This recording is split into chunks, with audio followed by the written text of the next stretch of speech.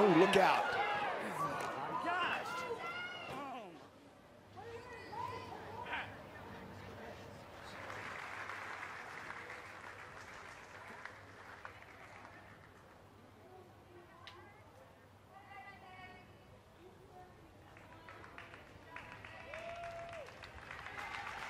That's awesome. Hey, Jarvis, it hit his helmet,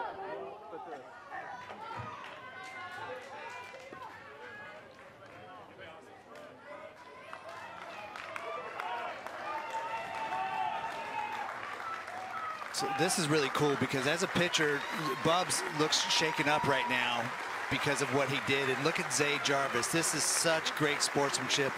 He wants him to know that it's okay.